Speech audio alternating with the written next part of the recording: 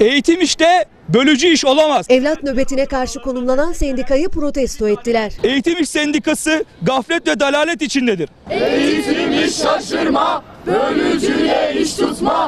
Sendikası Diyarbakır'da PKK'nın siyasi uzantısı HDP il binası önünde nöbet tutan ailelere destek verdiği için 7 üyesini ihraç etmişti. 7 öğretmenin HDP PKK'ya bayrak açan aileleri ziyaret ettikleri için ihraç edilmesine tepki ise büyüyor. Eğitim İş Sendikası'na üye 7 öğretmenimiz de teröre karşı duran vatansever her eğitimcinin yapması gerektiği gibi Türkiye'nin farklı yerlerinden Diyarbakır'a giderek terör karşıtı bu nöbete destek vermişlerdir.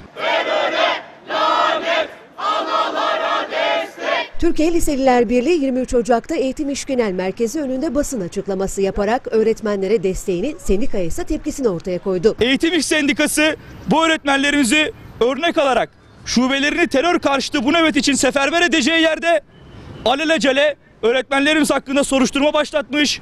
Hukuksuz soruşturmalar neticesinde öğretmenlerimizi sendikadan ihraç etmiştir. Namusu ve şerefi üzerine öğretmenlik yemini eden eğitim işte öğretmenlerin vicdanına sesleniyoruz. Onlara sorumluluklarını hatırlatıyoruz ve uyarıyoruz. PKK'nın hem eli kalem tutan öğrencileri hem de öğretmenleri hedef aldığını vurgulayan liseliler sendikayı sert bir dille eleştirdi. eli kalem tutması gereken çocukları dağa kaçırıp eline silah veren HDP'dir.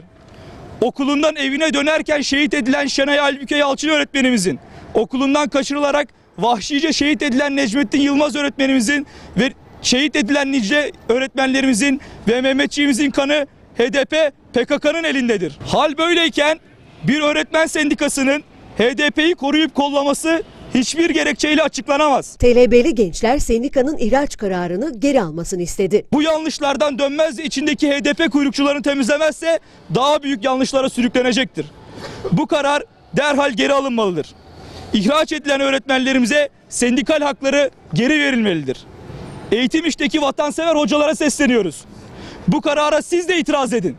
Aksi halde siz de bu kararı imza atmış olacaksınız. Yarı yıl tatilinde olan liseliler 25 Ocak'ta Diyarbakır'a gideceklerini de açıkladı. TLB'li gençler tüm öğretmen ve öğrencilere önemli bir çağrıda bulundu. 25 Ocak'ta karnelerimizle beraber, öğrenci arkadaşlarımızla beraber Diyarbakır'a gidiyoruz. Alınan bu kararın karşısında annelerimizin ve öğretmenlerimizin yanında olduğumuzu bir kez daha göstereceğiz. Vicdanlı, samimi, vatansever tüm öğretmenlerimizi ve öğrenci arkadaşlarımızı bu eyleme destek vermeye, bizimle beraber Diyarbakır'da olmaya davet ediyoruz. Türkiye Liseliler Birliği 7 öğretmeni ihraç eden sendikanın genel merkez binası önüne işte bu karneyi astı. Öğrenciler de öğretmenlere karne verir.